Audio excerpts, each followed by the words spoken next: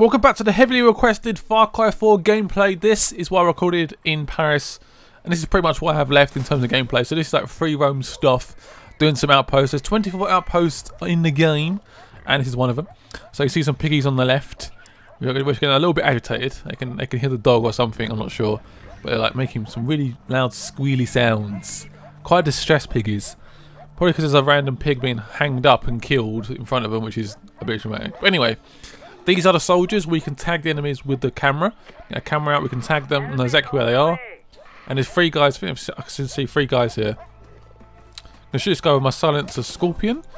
I shot him once, but he's got like so much freaking armor on his face, he literally just ignored it. So that didn't go to plan.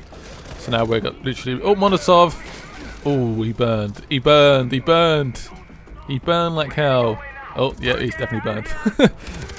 see, see that floating pig there that's being like ready for a meal later. I don't know, but um, they're about to call for backup. I think they have called for backup already. This is reinforcements are coming very, very soon.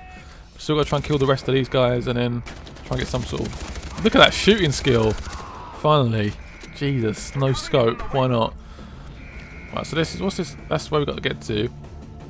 That's what we've done as like a waypoint, so we arrived. But the backup is coming.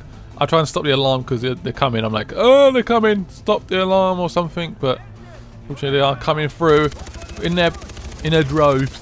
A lot of a lot of enemies are coming. There's some good guys coming to help us out as well. The blue guys. Oh, oh, you just hit me over!